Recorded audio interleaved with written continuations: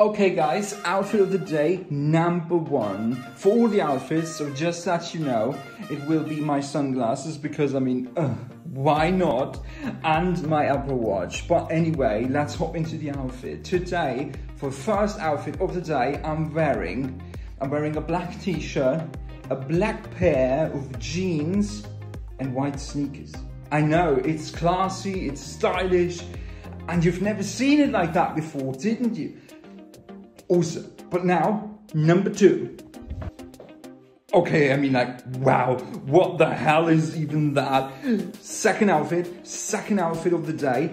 This time I'm combining a black pair of jeans with a black t-shirt. I know, wow, so stunning, so incredible, I know, but anyway, this is my outfit, white sneakers, of course white sneakers, because they are so classy.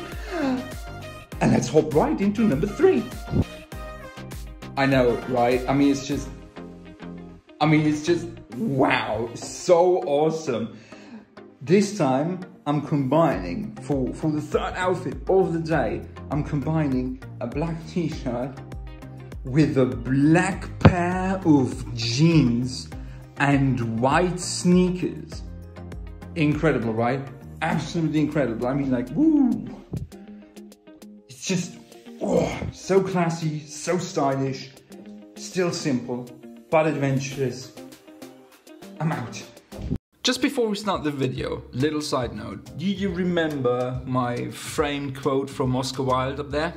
Yeah, um, that frame came down in the middle of the night for no obvious reasons and I haven't, I couldn't be bothered to put it back up. So um, yeah, just let you know.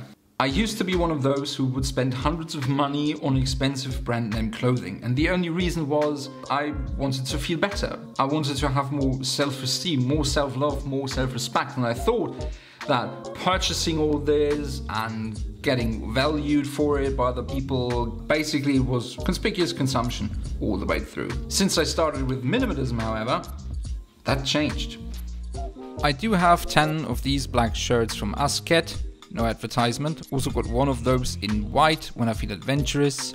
I've got this classic white shirt for official occasions, two hoodies in two colors. I've got one sweater in black. I've got this beautiful blue bomber jacket that I like. I do have a black leather jacket, classy. A winter coat, which is quite lovely and warm. Five of these sweat short pants 15 different colored pairs of underwear, 10 long socks, 5 short socks. I do have my black pair of jeans that I wear every day. I've got two of these quite regular sweatpants, this classy trouser for official occasions, one pair of red swimwear, my usual white sneakers for every day, and my walkout sneakers. And for accessories, I do have three ties. Don't know why I don't have a suit. And one scarf. And of course, you know that, my sunglasses.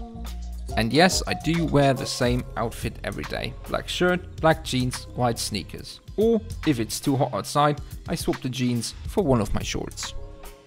I still own a few expensive pieces of clothing from expensive brand names, but almost all of them were purchased months or maybe even years before I discovered minimalism altogether. And as they are still good to use, why should I replace them? I am a bit splitted when it comes to brand names like Lacoste, Tommy Hilfiger and co. The shirts I have now, 35 bucks each, not cheap, almost the same price as some brand name shirts, but so much better in quality.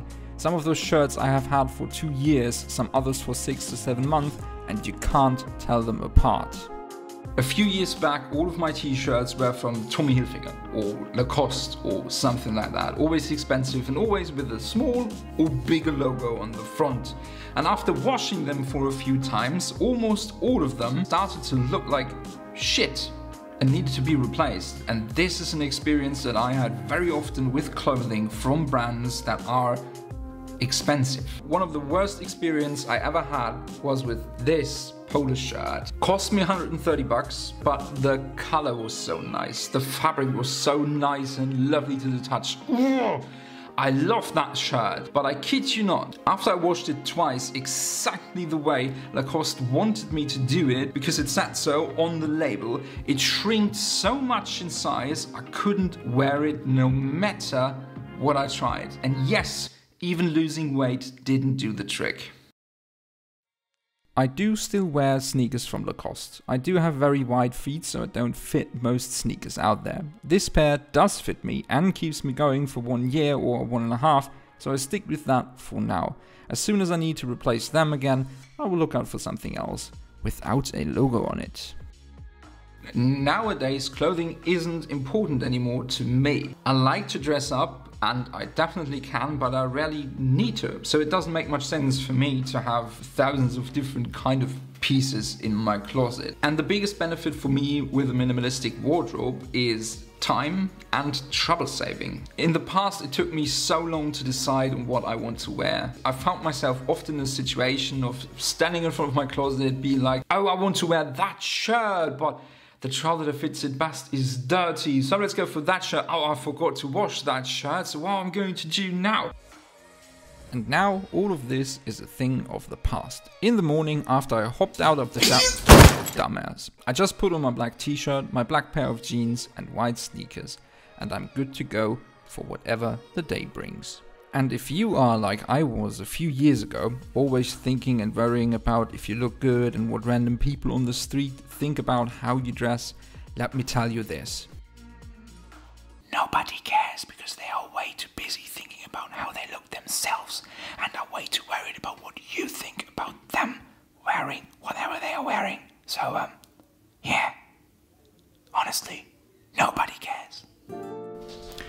There you have it guys, this is my super sexy minimalistic wardrobe. I hope you liked this video, comment and subscribe if you did so, so you don't miss out on any kind of fashion videos anymore.